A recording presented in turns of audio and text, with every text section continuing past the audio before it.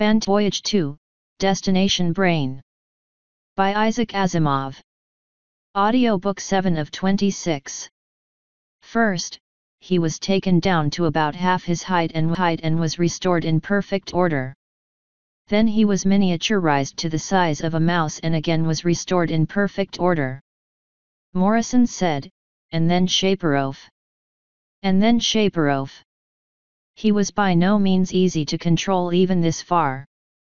He argued vociferously for the chance to be the first person miniaturized. After Konyev's first venture into the small, it was all we could do to persuade him to wait for a second and more drastic attempt. After that we could control him no more. Not only were we forced to miniaturize him, but he swore that he would abandon the project and somehow make his way out of the country to begin a miniaturization project elsewhere if we did not miniaturize him to a greater extent than we had Konyev. We had no choice. If Crazy Peter, as you call him, were mad enough to speak of emigrating, that would go beyond what the government would be willing to allow even in these days.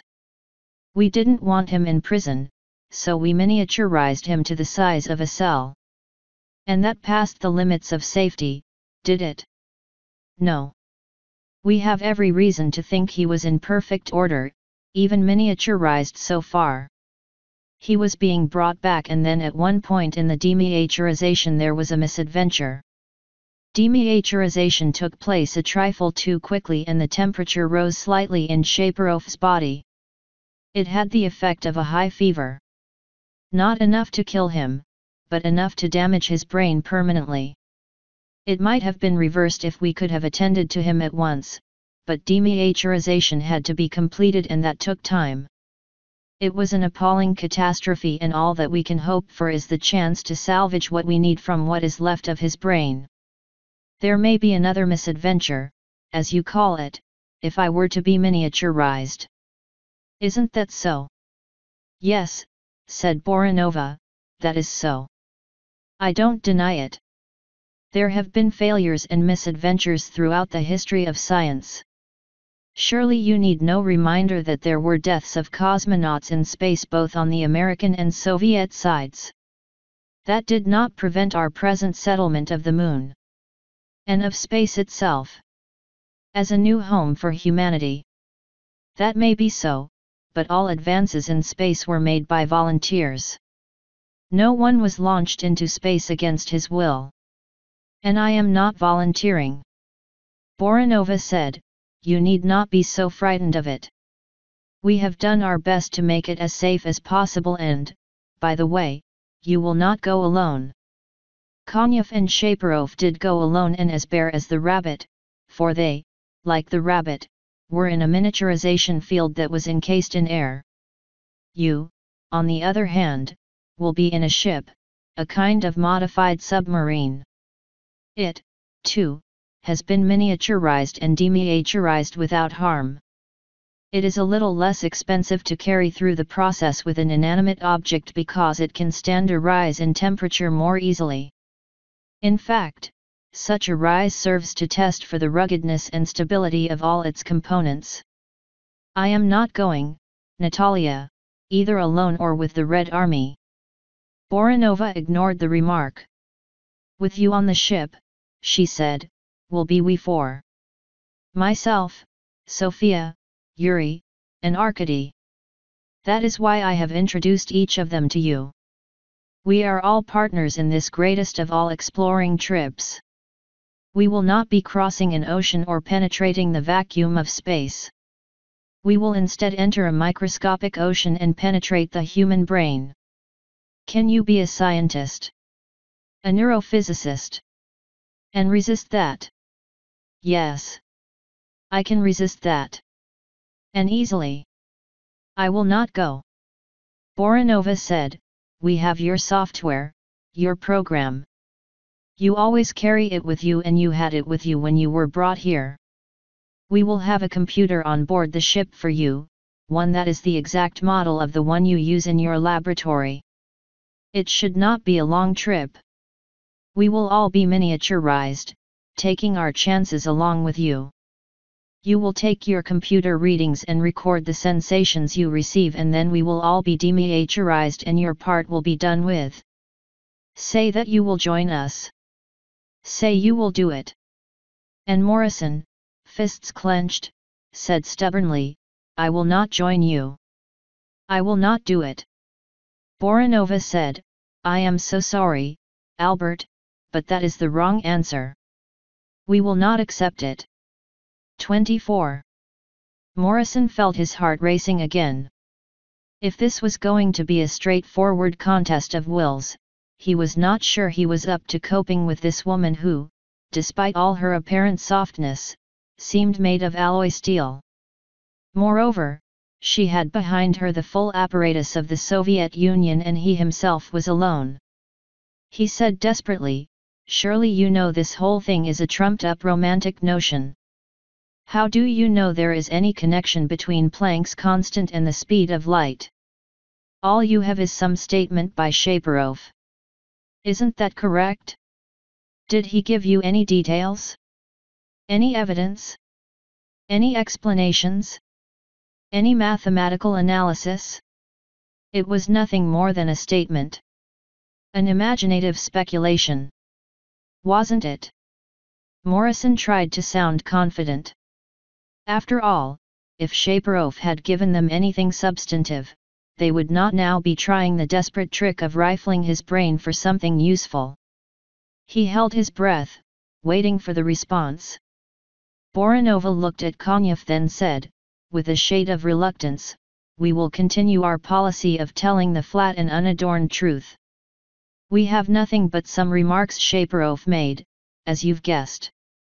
He enjoyed keeping things to himself until he could spring them on us fully dressed, so to speak.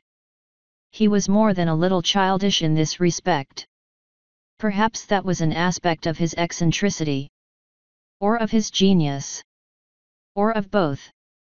But how can you tell, under those circumstances, that such an unsupported speculation would have any validity whatever?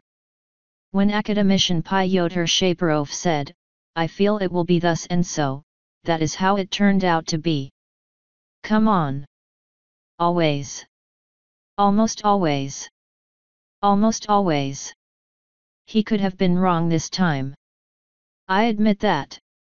He could have been. Or if he had some notion which would really prove of use, it might have been localized in the part of the brain which has been destroyed. That is conceivable. Or if the notion is useful and is still in the intact portion of the brain, I might not be able to interpret the brain waves properly. That may well be. Putting it all together.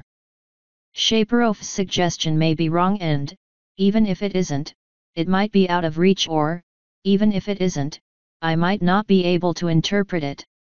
Considering that, what are the chances of success? And can't you see that we will be putting our lives into danger for something we will almost certainly fail to get? Considering the matter objectively, said Boranova, it would seem the chances are very small. However, if we do not hazard our lives, the chances of obtaining anything at all are zero.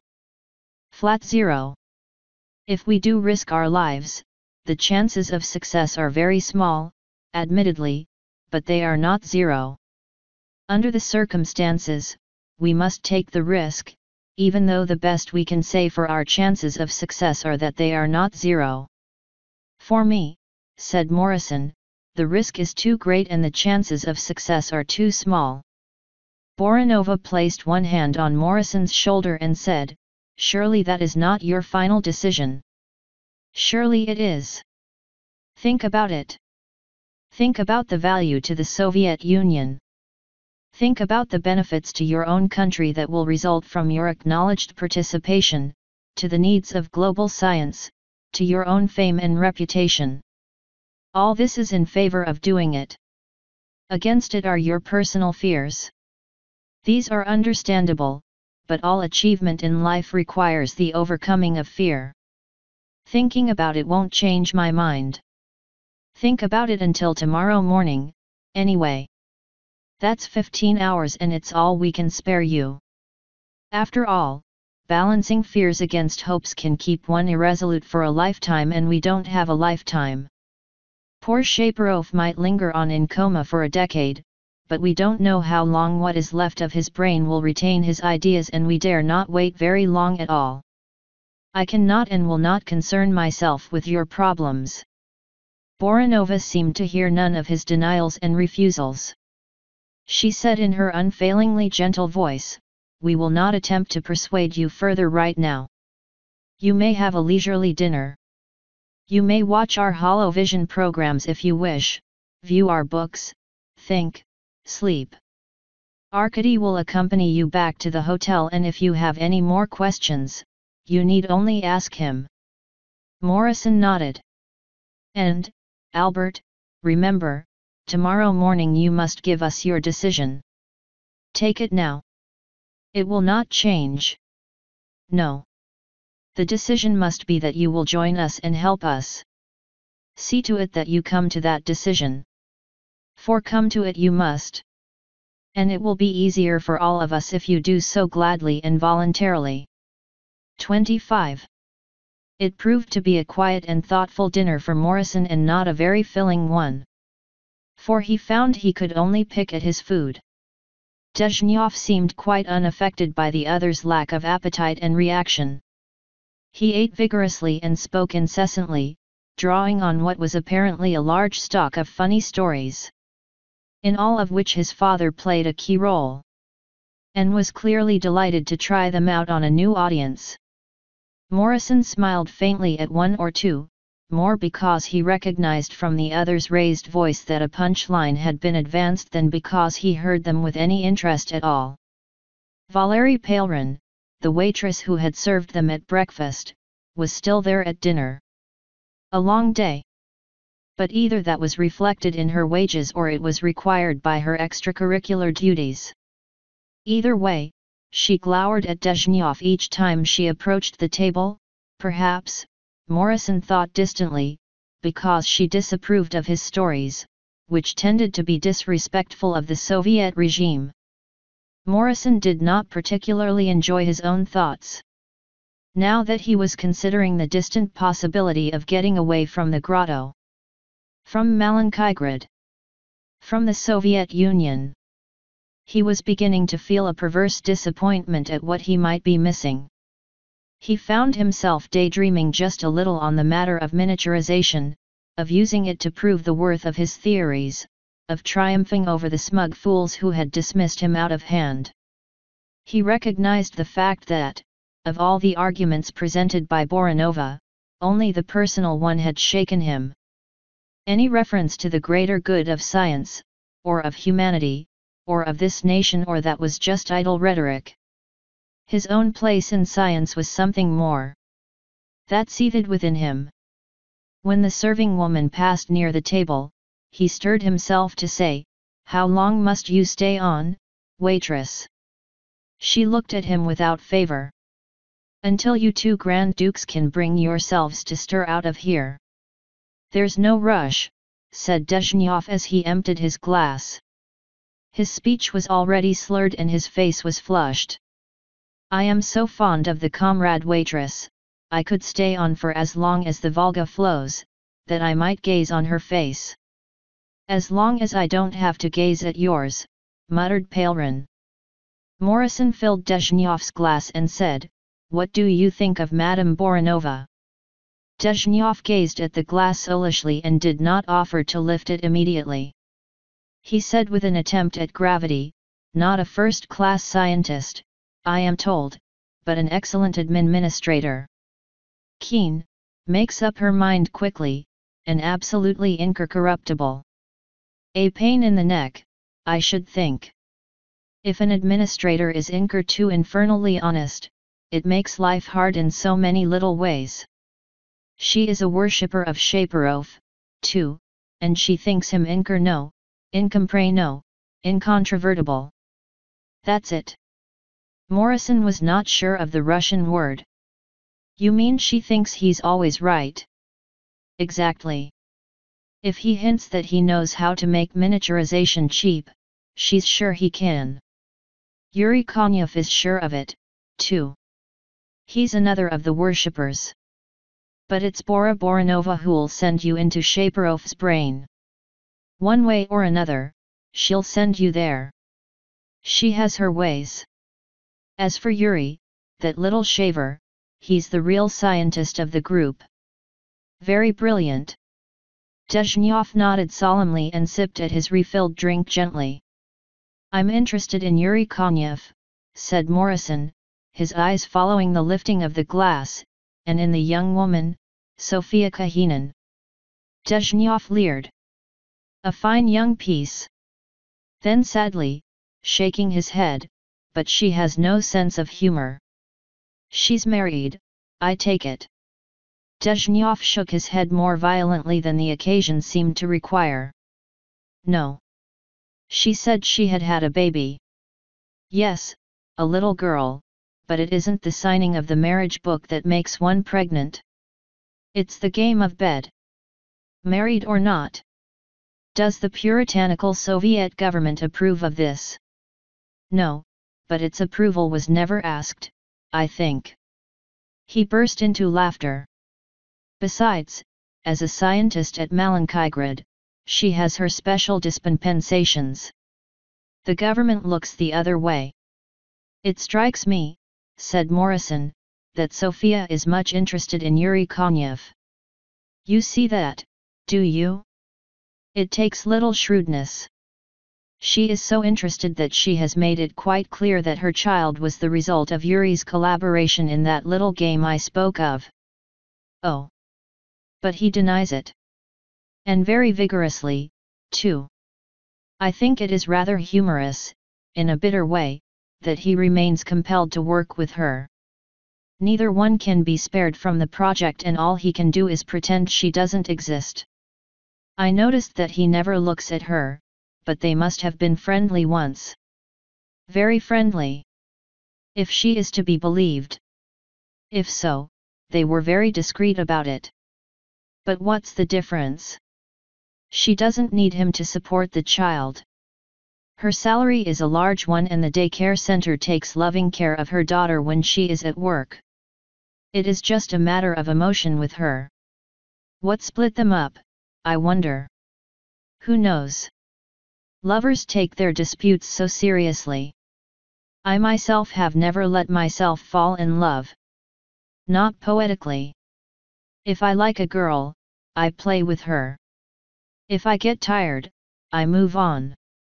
It is my good fortune that the women I engage are as prag pragmatic. Isn't that a good word? As I am and make little fuss. As my father used to say, a woman who doesn't fuss has no faults. Sometimes, to be truthful, they grow tired before I do, but even then, so what? A girl who is tired of me is not much good to me and, after all, there are others. I suppose Yuri is much like that, too, isn't he? Dezhnyov had emptied his glass again and he held out his hand when Morrison made a move to refill it. Enough. Enough. Never enough, said Morrison calmly. You were telling me about Yuri. What is there to tell? Yuri is not a man to fly from woman to woman, but I have heard. Dash he stared blearily at Morrison. You know how one hears.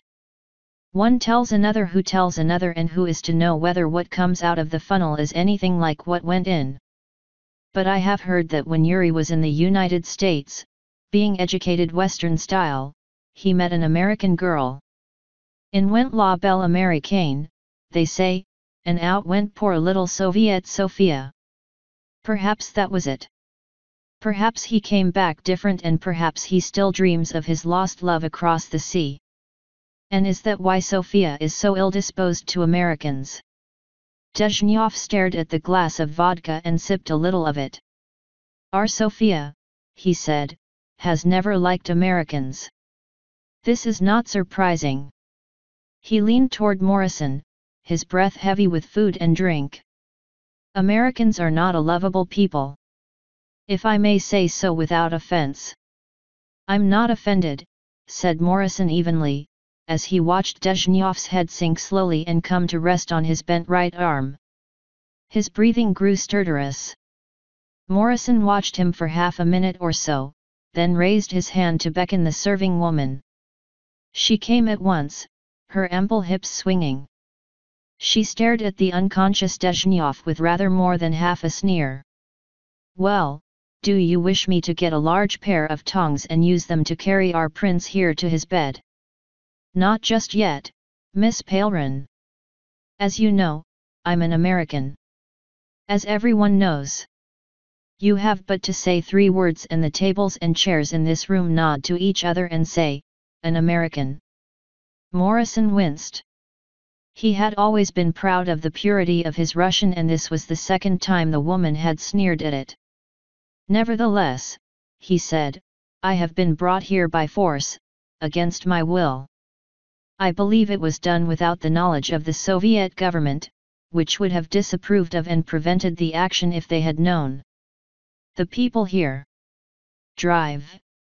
Boranova, whom you have referred to as the Tsarina, have acted on their own. The Soviet government should be told of this and they will then act speedily to return me to the United States and prevent an international incident that nobody would want. Don't you agree? The waitress put her fists on her hips and said, and of what matter is it to anyone either here or in the United States as to whether I agree or not? Am I a diplomat? Am I the reincarnated spirit of Tsar Peter the Great Drinker? You can see to it, said Morrison, suddenly uncertain, that the government learns of it. Quickly. What is it you think, American? That I have but to tell my lover, who is on the presidium, and all will be well for you? What have I to do with the government? What's more? And in all seriousness, comrade foreigner. I do not wish you to talk to me in this fashion again. Many a fine, loyal citizen has been hopelessly compromised by foreign blabbermouths. I will, of course, report this to Comrade Boranova at once and she will see to it that you do not insult me in this fashion again. She left in a flounce and with a scowl and Morrison stared after her in dismay. And then his head whirled in surprise and astonishment when he heard Dezhnyov's voice saying, Albert, Albert, are you satisfied, my child? Dezhnyov's head was raised from his pillowing arm and, though his eyes were a little bloodshot, his voice seemed to have lost its fuzziness. He said, I wondered why you were so anxious to fill my glass, so I gobbled a little and let myself collapse. It was all very interesting. You are not drunk? said Morrison, goggling at the other in wonder. I have been more sober in my life, certainly, said Dezhnyov, but I am not unconscious, nor have I been. You non-drinkers have an exaggerated idea of the speed with which all accomplished Soviet citizen will fall unconscious with drink. Which shows the dangers of being a non-drinker. Morrison still found himself in a state of disbelief over the failure of the waitress to cooperate. You said she was an intelligence operator. Did I? Dezhnyov shrugged. I think I said I suspected she was, but suspicions are often wrong. Besides, she knows me better than you do, my little Albert, and was probably under no illusion that I was drunk. I'll bet you 10 rubles to a kopeck that she knew I was listening with both ears. What would you have her say in such circumstances? In that case, said Morrison, taking heart, she will have heard what I said and will nevertheless inform your government of the state of affairs. Your government, to avoid an international incident, will then order me set free, probably with an apology, and you people here will have some tall explaining to do. You had better free me and send me back to the United States of your own accord. Dezhnyov laughed. You're waste your time, my clever intriguer. You have too romantic a notion of our government. Conceivably, they may be willing to let you go someday but, regardless of possible embarrassment, not before you have been miniaturized and Dash I don't believe anyone in authority knows you kidnapped me. They cannot approve once they find out. Maybe they don't know and maybe they will grind their teeth when they find out. But what can they do? The government has invested too much money in the project to let you go before you have had your chance to make it practical, so that it will repay all that has been spent. And more in addition. Well? Doesn't that seem logical to you? No. Because I won't help you. Morrison felt his heart harden once again. I will not allow myself to be miniaturized. That will be up to Natasha. She will be furious with you, you know, and will have no pity. You realize that you callously attempted to have everyone in the project thrown into the government's bad graces, have some of us retired. Or worse. And this, after we had treated you with perfect consideration and kindness. You kidnapped me. Even that was done with perfect consideration and kindness. Were you hurt in any way? Mistreated? Yet you have tried to harm us. Natasha will repay you for that. How? Force? Torture? Drugs? Dezhnyov turned his eyes up to the ceiling. How little you know our Natasha. She doesn't do such things. I might, but she wouldn't. She's as much a gentle chicken heart as you are, my wicked Albert. In her own way. But she will force you to go along with us. Well? How? I don't know. I can never quite make out how she does it. But she manages. You will see. His smile developed a wolfish edge. And when Morrison saw that smile, he finally realized there was no escape. 26. The next morning Morrison and Dezhnyov returned to the grotto. They entered a large windowless ceiling-lit office, which Morrison had not seen before. It was clearly not Boranova's and it was very impressive, as anything with an ostentatious waste of space is bound to be. Boranova sat behind a bulky desk and on the wall behind her was a portrait of the Soviet executive, looking grave. In the corner to her left was a water cooler and in the one on the right a microfilm cabinet. On the desk was a small word processor. That was all. The room was empty otherwise. Dezhnyov said, I have brought him, you see. The mischievous fellow tried to use the charming Palerin to effect an escape by intriguing with the government behind our back. I have received the report, said Boranova quietly. Please leave, Arkady. I wish to be alone with Professor Albert Morrison. Is that safe, Natasha? I think so. Albert is not, in my opinion, a man of violence. Will I be safe, Albert? Morrison spoke for virtually the first time that day. Let's not play games, he said. What is it you want, Natalia? Boranova gestured with her hand peremptorily and Dezhnyov left. When the door closed behind him, she said, Why have you done this? Why have you tried to intrigue with someone you thought was an intelligence agent watching us? Have we treated you so badly? Yes, said Morrison angrily, you have. Why can't any of you get it through your head that hijacking me to the Soviet Union is not something I am likely to appreciate? Why do you expect gratitude of me? Because you didn't break my head in the process? You probably would have. If my head, unbroken, hadn't been valuable to you. If your head, unbroken, hadn't been valuable to us, we would have left you in peace. You know that and you know the necessity that drove us. We have explained it carefully. If you were simply trying to get away, I would understand, but your method of attempted escape might have destroyed our project and perhaps us as well. If you had succeeded, you hoped our government would disapprove of our actions and be appalled.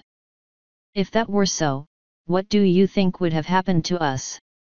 Morrison's lips tightened and he looked sullen. I could think of no other way of escaping. You speak of driving necessities. My needs drive me, too. Albert, we have tried every reasonable way to persuade you to help us. There has been no force, no threats of force, no unpleasantness of any kind after you had arrived there. Isn't that true?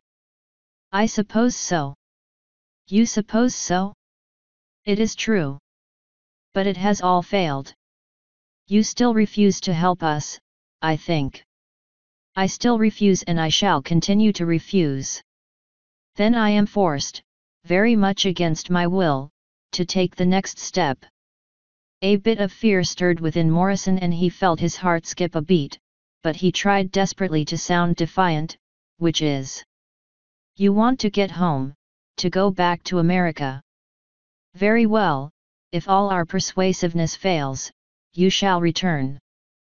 Are you serious? Are you surprised? Yes, I'm surprised, but I accept. I take you at your word. When will I leave?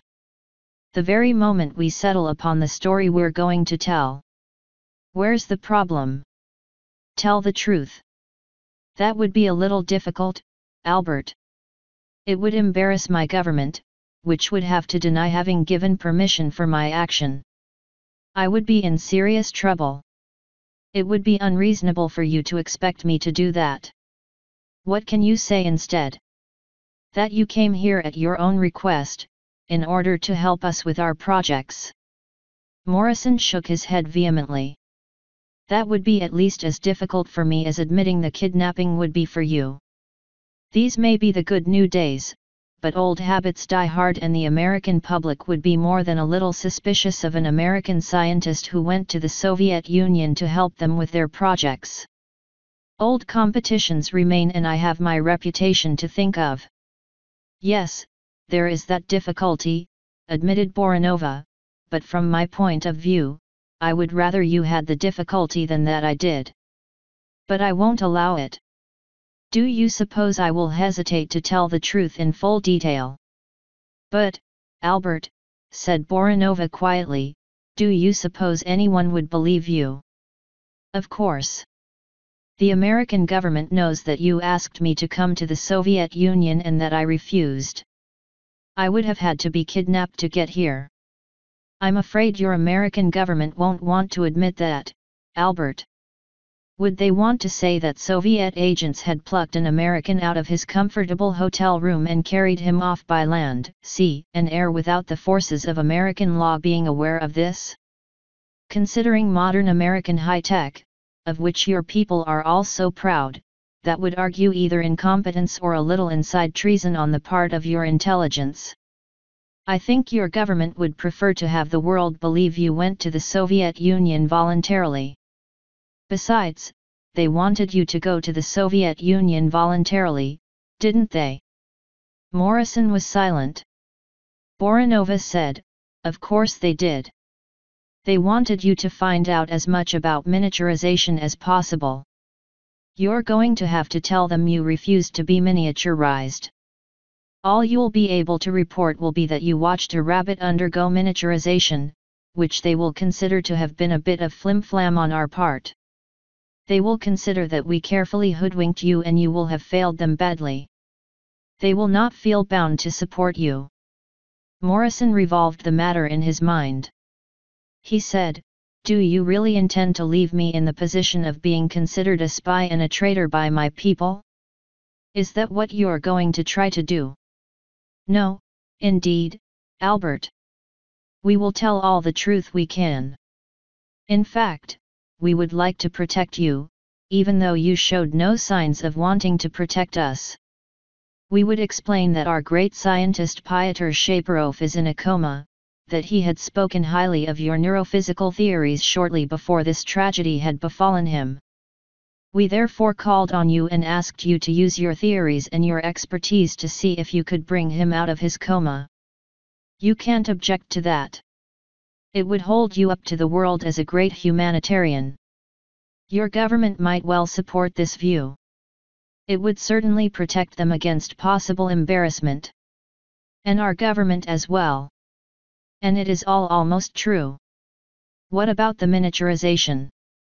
That is the one place where we must avoid the truth. We can't mention that. But what would keep me from mentioning it? The fact that no one would believe you. Did you accept the existence of miniaturization until you saw it with your own eyes? Nor would your government want to spread the feeling that the Soviet Union has attained miniaturization. They would not want to frighten the American public until such time as they were certain the Soviet Union had the process and, better yet, that they had the process as well. But there you are, Albert. We will send you home with an innocuous story that doesn't mention miniaturization, doesn't embarrass either my country or yours, and relieves you of any suspicion of being a traitor. Are you satisfied? Morrison stared at Boranova uncertainly and rubbed his thin sandy hair till it stood lip in vague tufts. But why will you say you are sending me back? That has to be explained, too. You can't very well say that Shapirov recovered with my help unless he actually recovers so that you can produce him. Nor can you say that he died before I could get to him unless he actually does die soon, as otherwise you would have to explain why he is still in a coma or why, perhaps, he has come back to life. You can't hide the situation forever. That is a problem that worries us, Albert, and it is clever of you to see it. After all, we are sending you back within a few days of your arrival. And why? The only logical reason, I'm afraid, is that we have found you to be a charlatan. We brought you here in high hopes for our poor Shapirov, but in no time at all it turned out that your views were incoherent nonsense and, with bitter disappointment, we sent you back. That will do you no harm, Albert. Being a charlatan is not the same as being a spy. Don't play the innocent, Natalia. You can't do that. He had turned white with anger. But it makes sense, doesn't it? Your own peers don't take you seriously. They laugh at your views. They would agree with us that your neurophysical suggestions are incoherent nonsense. Audiobook generated by Read with the Ears